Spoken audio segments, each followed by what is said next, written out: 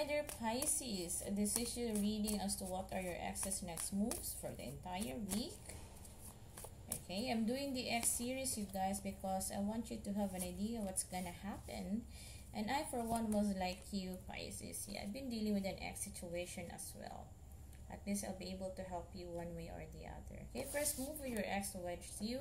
We're dealing with an ex here who's going to make a very major decision that you will also be shocked by it okay? It's a major decision that it will affect you for yeah for big time actually big time okay? Another move of your ex towards you your ex is going to make a very selfish move again.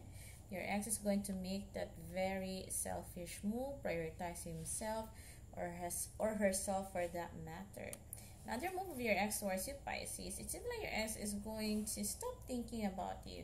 So if you have this feeling that you cannot think about your ex anymore, or your ex stop popping up into your dream or mind, and long beforehand your ex keeps on popping up, meaning your ex decided for himself or herself to stop thinking about you.